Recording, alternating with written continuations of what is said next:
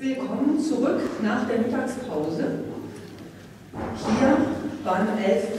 International Music Festival Innsbruck im Reifeisensaal. Es steht keiner auf, Reifeisensaal, wir sind alle richtig wunderbar.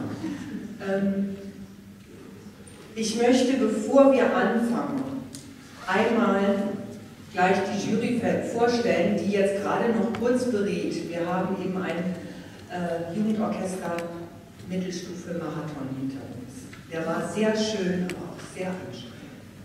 Und jetzt, vor allen Dingen für die Orchester, wie es immer so ist. Und jetzt haben wir hier die Jury erst einmal, die Platz genommen hat. Die ist international, wie das ganze Festival, besetzt. Ähm, den Vorsitz hat Georg Penz aus Deutschland.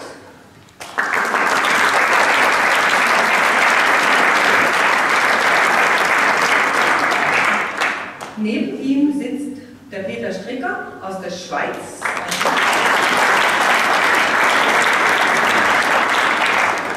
Und als drittes Land vertreten ist Russland mit Konstantin Ischenko.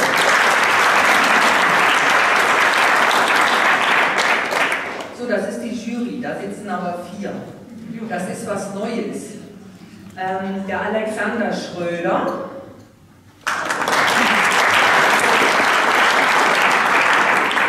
ist als Volontär da. Er ist Lehrbeauftragter der Er ist Lehrbeauftragter der Hochschule für Musik in Nürnberg. Ähm, so, Jetzt sage ich Ihnen noch, in welcher Kategorie gespielt wird. Die sind schon ganz nervös in Jetzt, wir spielen jetzt, also er spielt jetzt die Kategorie 4, Akkordeon Ensemble, Amateure, Oberstufe. Und da hören wir das Akkordeon Ensemble. Hier steht nur MDA 1. Ich habe gegoogelt. Musik in Danzschule Amstelveen. So, die spielen unter der Leitung, steht hier, von dem Robert Baas, aber natürlich ist der Robert Baas da hinten irgendwo und das Ensemble hier vorne.